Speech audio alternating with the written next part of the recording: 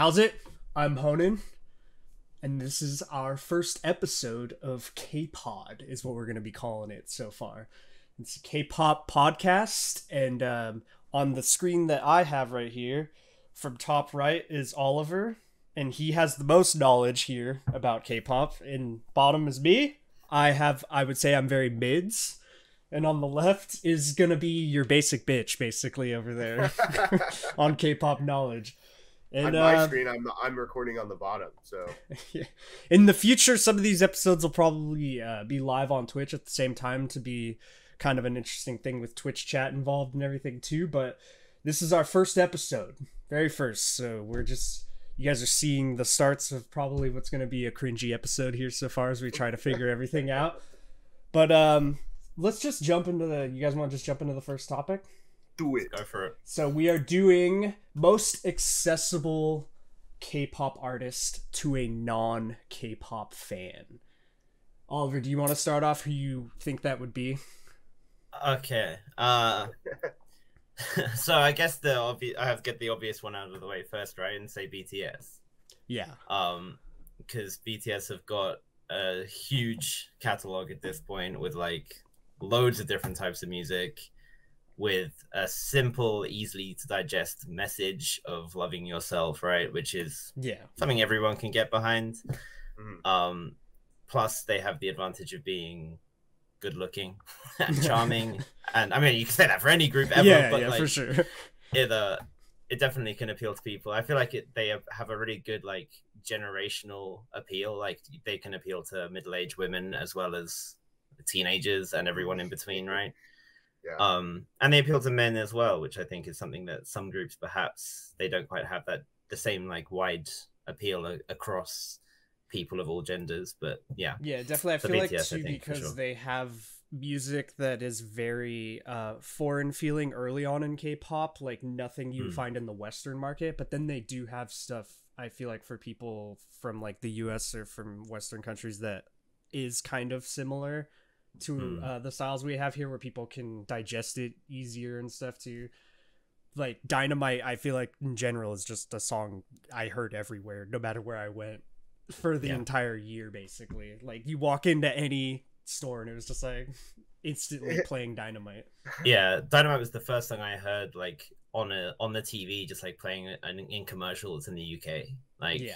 oh that's this is some this is something something this is when you realize how big they're getting yeah. Yeah well, I, I don't remember when it happened, but I just remember like all of a sudden they were they were in the U.S. and they were hmm. everywhere. It wasn't just like oh yeah, no, they they they were on like every talk show. They were on commercials. You know, it was just all of a sudden. So I don't know if that was like a like a some sort of label signing deal because you know you see that like international brands work with like you know Sony Music or or mm. you know hmm. one of the larger labels, and then they're like, oh, now you're coming over to the U.S. for a while. Um, did it happen that way, or did it just no, gradually build? BTS started building up. Um, so they first appeared. I'm going to get the name of the award show wrong. I think it was the VMAs back in 2017. I think was their first one, and they just kind of uh, everyone in America, or the like the music journalists, maybe it was the BBMAs, one of those ones. Yeah. They saw them and were like, "Oh, they this is like not just a this is a thing thing. Like a lot of people turned up for this." And then, oh, we'll invite them next year.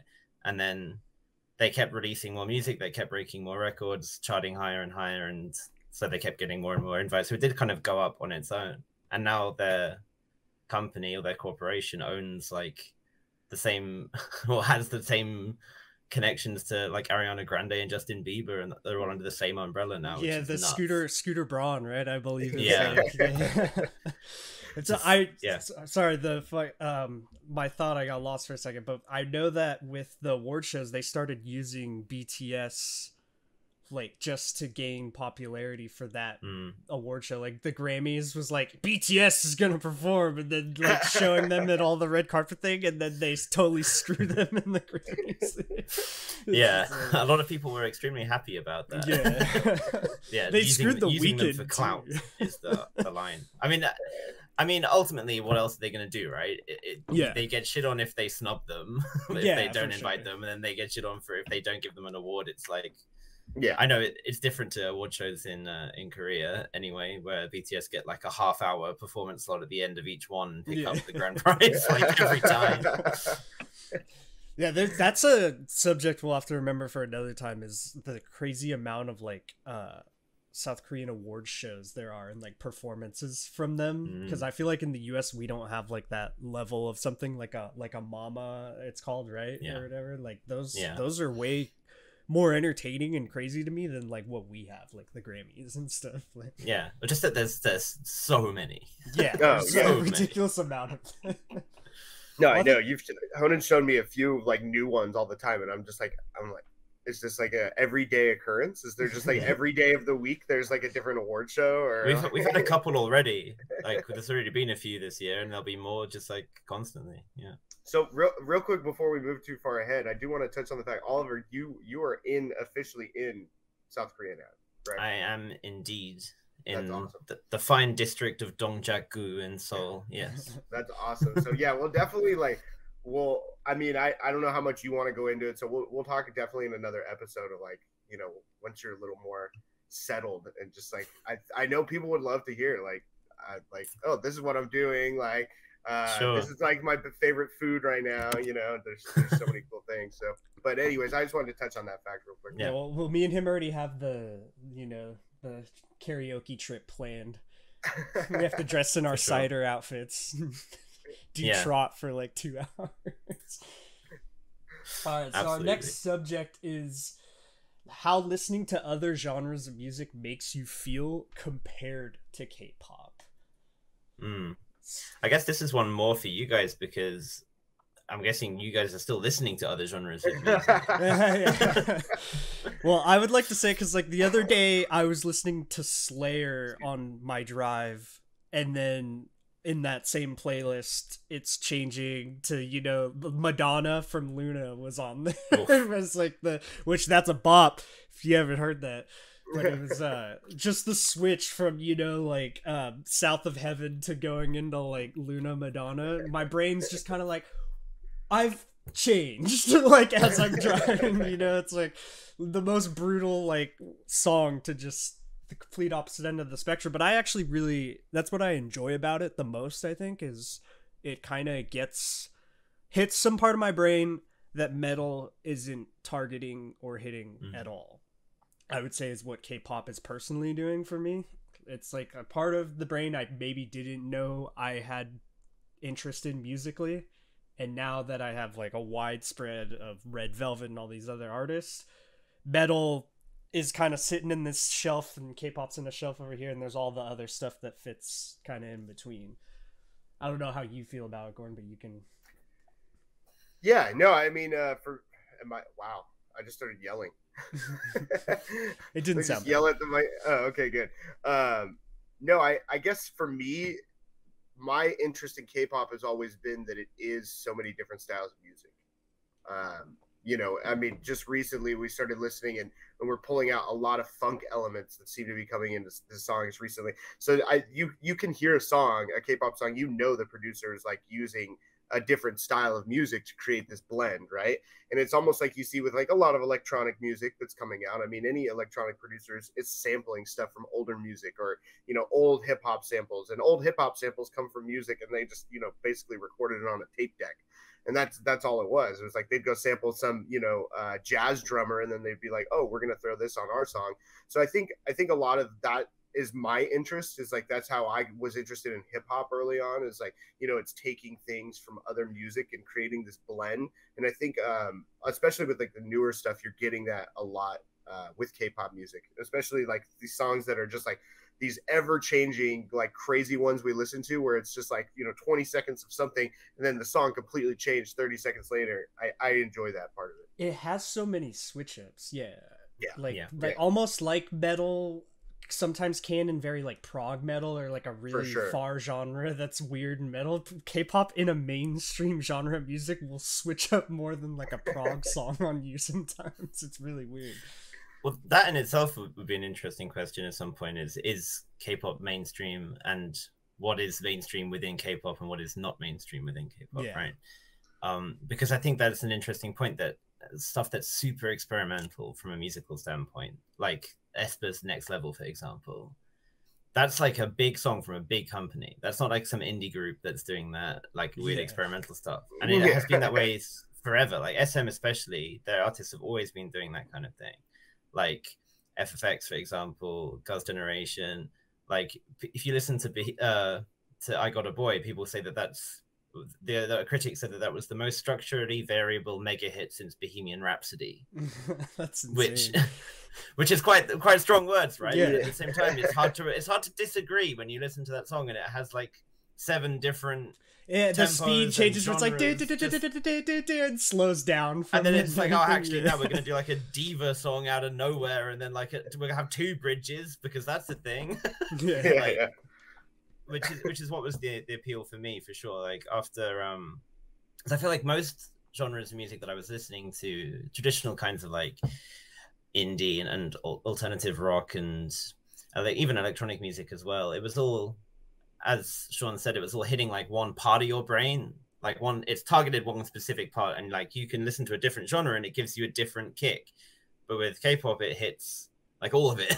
yeah, yeah. And that which is it's like you can have one group and you can get like a really chill R and B song, a really hype electronic song, some like dope rapping, some powerful vocals, all from the same group in the space of one mini album. yeah, right. It's like, wow, I have everything I need right here, and the way that they keep changing things up, the way that it goes through trends, like as uh, Goran mentioned, now we're in like this kind of funky retro trend that's been coming on for like a year or two now, which I did I did predict. Uh, like yeah, hearing that and then knowing that it won't stay like that forever, that we'll get some other trend that will be popularized soon, and then we'll have a completely different stuff to look forward to. It keeps it fresh and engaging. Well, I think you would be agree that like that trend that started happening with like La-Di Da and everything from Everglow, like the I what would you call it, like retro synth? synth wave. Synth wave, my, yeah, like would be my term. Yeah. I I'm so I think you even predicted that one happening before too, but it's uh when that finally rolled around, I was like, all right, this could stay forever. Yeah. like yeah. I was like every group should have a synthwave song now because it's but like even with that song you just mentioned um, with Luna's Madonna, right? Like that starts off in a way you're like, oh, this is going to be some kind of. It was like a the way that that sample was being used. It made it sound like it was going to be like a hip hop type track. Yeah. And then she just goes into this like full 80s synth pop chorus yeah, out of nowhere. The pre like... chorus build up in that song, like the way the synth is going right before, like, like genius song whoever wrote that song. Yeah. if i don't know did luna like write it or not but it's it's mm. an awesome song. And I, I was looking on youtube and it does not have the views it deserves so i think everyone knows what my plug will be. So as far as i think that's good probably for that topic yes? How yeah. to sure. makes feel? You're in charge man. Yeah yeah, yeah. It's, your, it's your rodeo so we're on the bias conversation, and this can be a mess. oh no! All right, there goes the episode. This is the whole thing right here. Oliver, you want to explain what a bias is? How do like what like how well, to explain? Okay. So a bias is your favorite, right? Yeah. Um, and generally speaking, that refers to the member or members of a group that you like the most, and then you can kind of hierarchy that into like your ultimate bias who reigns above all and then your just biases from each group. Um but it's an interesting kind of phenomenon. I guess it's always been a thing. I feel like it's been a thing in pop music forever right? Maybe when i was young and listening to all saints and the Sugababes and destiny's child i didn't i didn't know who the members were. I didn't care. I just liked the songs. But for people who were maybe around of an old age at that point, they had their favorite member of NSYNC or the Backstreet yeah. Boys or whatever, right? Like that's that's normal. Um, but it's become more of a thing because of how much K-pop has such a collectability element to it. Like there's so much stuff you can yeah. get. It's not just having like one poster on your wall of David Cassidy or whatever. it's like you you get so much extra stuff, and then you can obviously find ways to interact with them and stuff like that. Um, so probably as soon as you guys started reacting to K-pop, there was probably like people in the comments immediately saying, picking up on who you might have mentioned and saying, "Oh, this is this person. I think they're your bias." Yeah, right? They, people yeah. love to figure out who's Lisa who's right away. Everyone was like, "Oh, we like Lisa in the video. It's your bias. you got yeah. it." It's, which Lisa, fair enough, was technically my first bias. I guess you would say. Do you? Uh, I know with Goran, his he's quite never like hopped on having like a multiple well, I, bias. I just stream. have to say it's Backstreet for life, yeah, and then yeah, I was gonna say it's it's funny because I, I, remember there was a time uh Honan was like uh you know had his what, what was it? It was uh it was NSYNC I think at the time. Oh and, man, how young was I? Oh man, he must have been I don't know five years old, six years yeah, old, but he had. Like yeah, Dude, it was, uh, it was all about Timberlake. I, I, I, don't remember. Anyways, it's one of those ages. Um, but uh, he uh, definitely, I think you had Justin Timberlake, but it was like there was a thing going on at the time. They came out with like these these dolls, and that was the thing. I mean, I feel like I feel like anything you do successfully to market to individuals should have a team, right? It's just, I mean, that's just how we're built. If you think about it, right? We we love, you know, we have to have a football team. We have to have you know, uh, we have to pick a side politically. We have to, you know, there's always, and then and then you're like, no, that's the best. So I, I think that that's kind of the, a driving force, just like what makes us human is is a bias, right? You have to you have to kind of pick a side.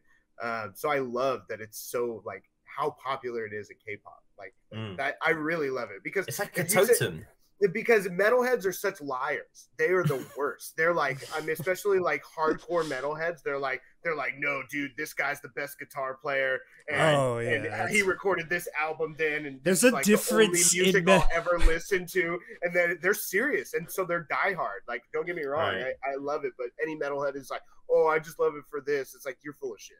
You just you talked about so something though in metal where it's tiered so differently because there's like drummer metalheads and guitarist metalheads yeah. who are like yeah. specifically in that instrument in metal. For sure. Who for sure. some of them are the worst. Like people you could ever meet online and talk to like about so it's like they'll they'll try to say someone's whole career is terrible from like one bad live performance in that moment in their entire history. Yeah. it's just it's just a little different. I mean it what I mean by it is like they they try to say they don't obsess on it as much as they do, and mm. in the metalhead community, there are definitely people that. Oh, I'm definitely way, a Hetfield bias way, in the metal community. Yeah. Oh, Hetfield's I mean, just, so I I just love how openly appreciated the the bias is in K-pop because mm. I think the metalhead community lies about it a little much. They're like they just should just be like, yeah, no, they're my favorite, and like yeah, instead of just always like sneakily protecting that band, it's like, no, this guy did this. It's like just mm-hmm. just tell everyone they're your favorite, then they'll know. yeah, it's like maybe a big thing about it is like being protective or being ashamed, maybe, of the idea of being a fanboy. Yeah, I think that's right? exactly what it is. Yeah, it's like especially for um, certain scenes that revolve around music, you want to be cool yeah. Right? You want to act yeah. like, oh, I'm I'm aloof about this. Yeah, he's pretty yeah. dope, but this other guy's pretty cool too. It's whatever. Yeah. but inwardly, you're like, nah, that guy fucking sucks. Like, my guy's the best. but but you don't want to be that guy. Whereas in K-pop, it's like it's much more acceptable to to be like, no, I think that my bias is the best dancer of her generation or, or whatever. But at the same time, obviously, as with any fandom thing, it turn it can get nasty and people start throwing shade at each yeah. other for it, but it's been that way since forever, right? Like old hip, West West Coast versus East Coast hip hop, or yeah. Xbox versus PlayStation, exactly. like, exactly. whatever it might be. I, I, would I would argue that a bias is like the most human thing ever. Hmm. Any, anything. uh, before we move on from biases, I just want to say like how big of a mess my bias list became so quickly. Like yeah. where where I was so sure and then like next month half that list was just like swatted by like so, different K-pop artists. That's, that's an interesting difference, I guess, is that because you were introduced to it so early like that, it was immediately you were like, oh, okay, I like this person from this group, and then you discover a new group, and you're like, I like this person from that group, and then naturally you start ranking them. Like yeah. you, you see, you listen to Blackpink and you like Lisa, and then you listen to Red Velvet and you like Joy, and you're like, hold on, yeah, and then right, and you're trying to figure out who's going where. Whereas for me, like I, I didn't care about yeah. who the members were of any group for years. So, like when I, I so it's actually like my 10 year K-pop anniversary this year, right? Yeah. And I remember listening to Girls' Generation this month even when I when I first listened to Girls' Generation, like my my friend who showed me to them was like, "Oh yeah, that's Sunny and that's Tiffany," and I was like, uh, first of all, there's nine of them. I'm not going to remember mm. this. And, and, second of all, like whatever, I'm just enjoying the song. Like it doesn't matter to me. I don't remember the name of like some bassist from rock bands I used to listen to. It, it doesn't matter to me. Exactly. So it's only recently, like maybe since like 2017. I suppose it's not that recent anymore that I started to think, okay, this one in this group is my favorite. I like her especially. I like him especially. Whatever.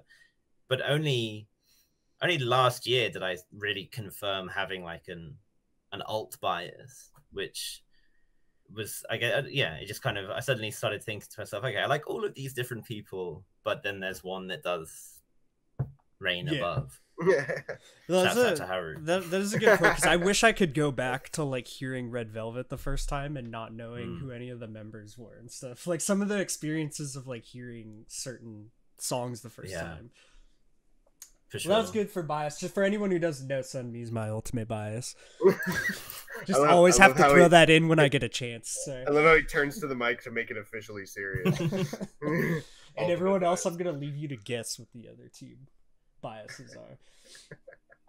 All right, so topic four we got going here already. Nice, We're moving things along pretty smooth for a first episode. Actually, it's not nearly as clustered as I thought we were going to be. I know. Oh, this is generations that we're on now. so discuss the different generations of K-pop is what I put here, and like which is your favorite generation. Which I mm-hmm. think those two things could basically be two different subjects. Yeah. So uh, we're on Gen four now. Is that right? Yes. Okay. But the thing is, I should preface all of this by saying there is no agreed like set in stone agreed upon thing. It, it's not like JYP and Lee Soo-man come out and like hammer in a new thing, saying like this is the new generation, everyone. Like sound the bells, sandstone let the people know. this is like, generation four. Yeah, it, it doesn't work like that. So obviously people have their own interpretation of when a generation is, and I think some are certainly more easily agreed upon than others. Um, there's also no set time frame. So they, they've kind of nicely been six years, except for Gen 2.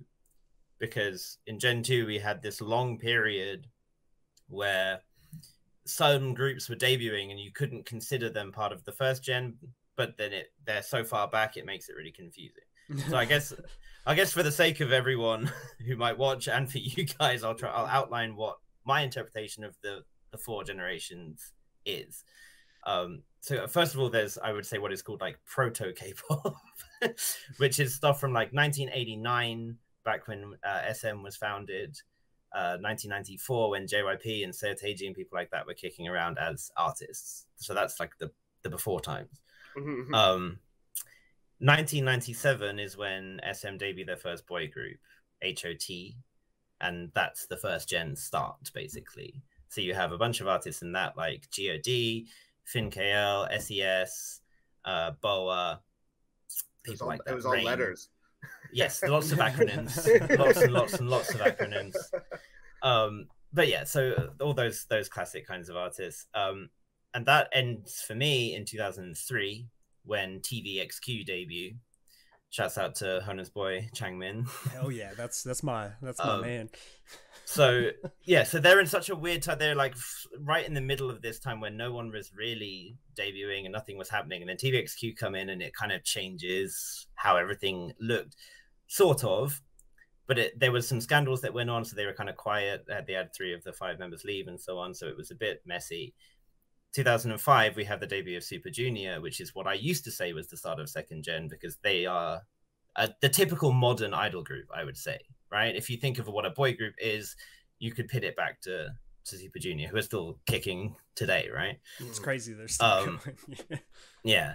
So 2003, 2005, start of second gen, um, which lasts for me up until 2012.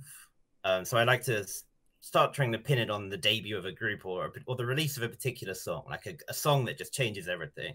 So for 2012, Gangnam Style comes out, and I feel like that is the song that changed world's perception of K-pop, right? So that's mm-hmm. for me is the start of a new generation.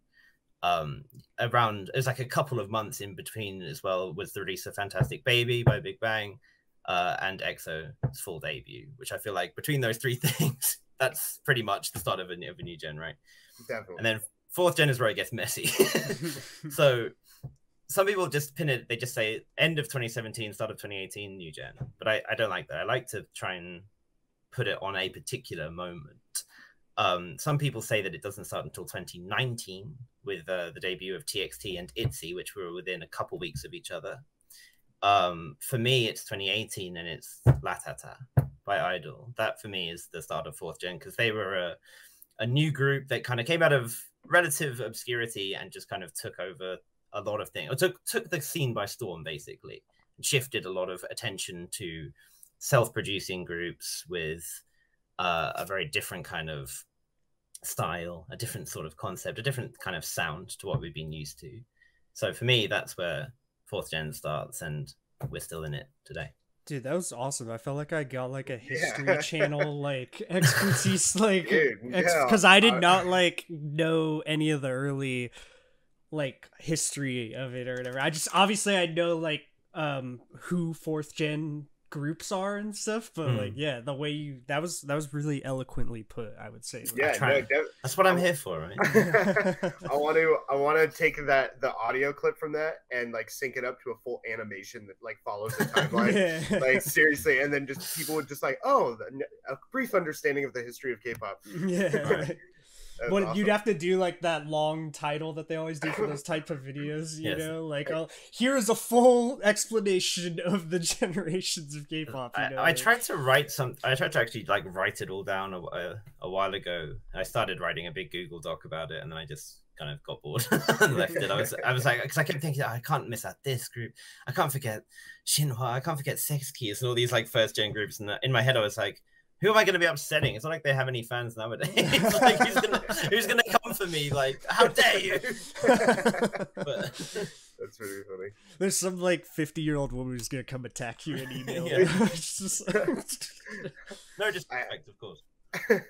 I, off of that, I would say fourth gen uh, Goran, I think, is probably your favorite because you really love Idol, and I know that Soyeon tends to be like one of your favorite idols because she writes and produces like a lot of the own music that idol has coming out yeah and i mean just just in that time frame though if you look at it i think i've much the majority of what i've listened to is probably fourth generation music um, only because of like when we started really listening and and the, the groups that we check out as new music i have gone back I mean, obviously on our channel, we've gone back and checked out quite a few things, and and Honan has too on lives all the time. But um, yeah, I think uh, I don't know.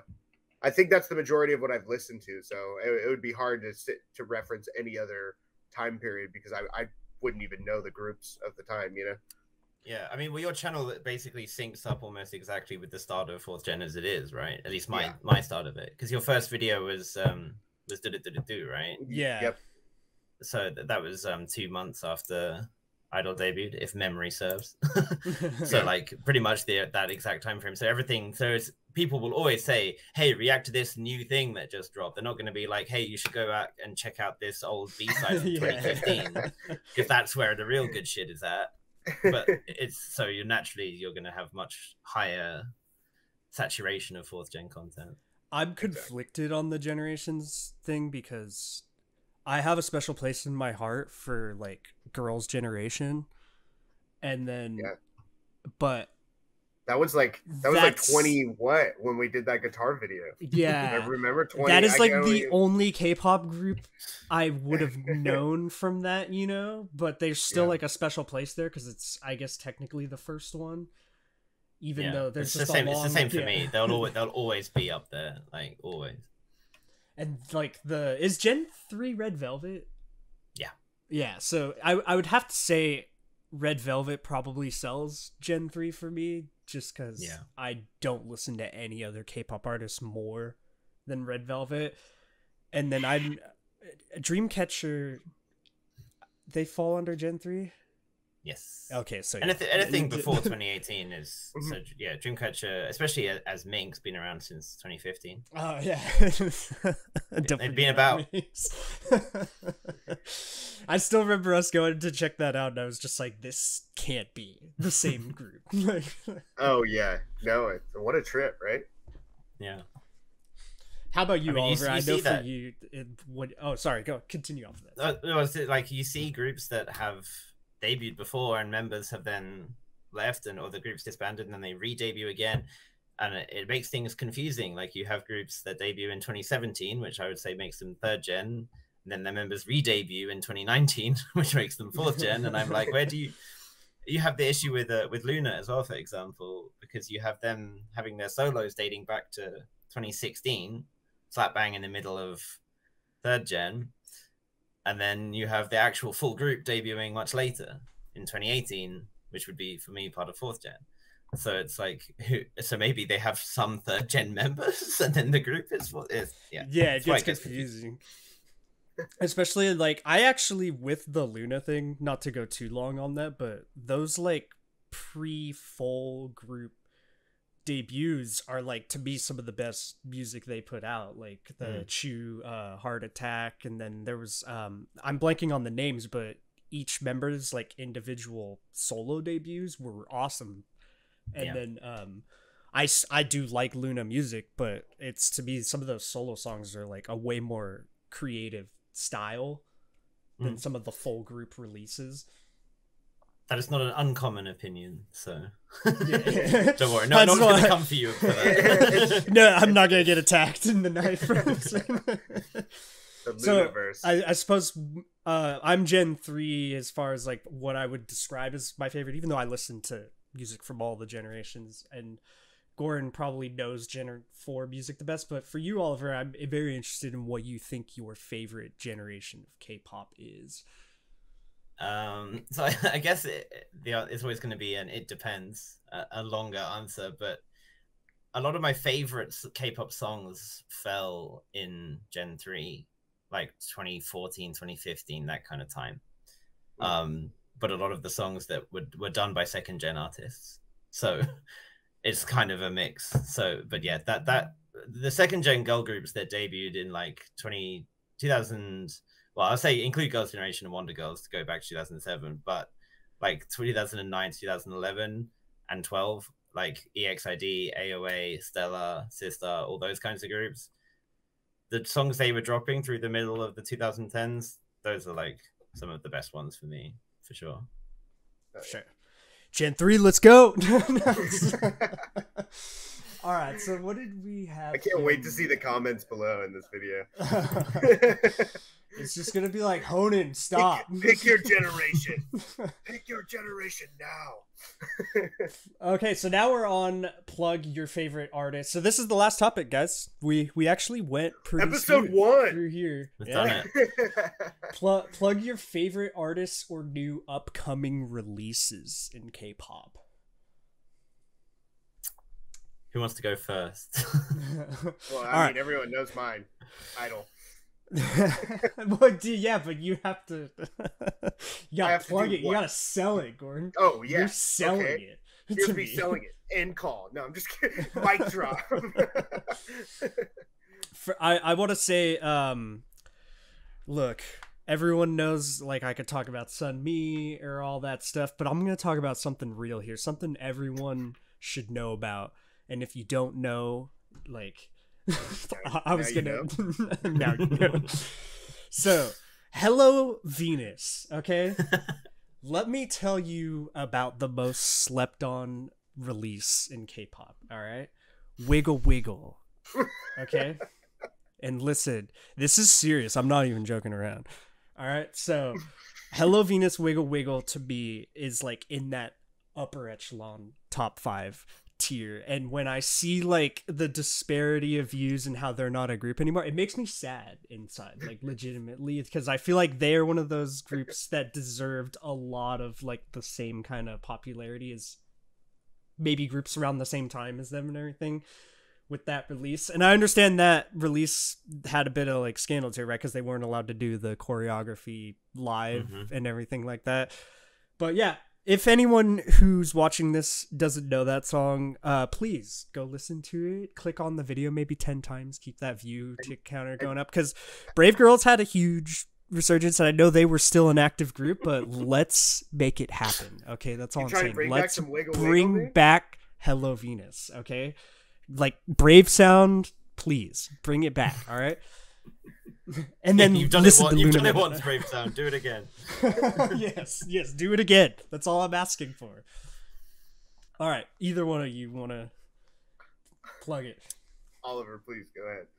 Okay, well, so I guess I'll, I'll shout out what would be maybe my like three of my like songs that I mentioned from that period that I'm like I still love so much to this day. Like every time I listen to them, I'm still just like, God damn, this is good.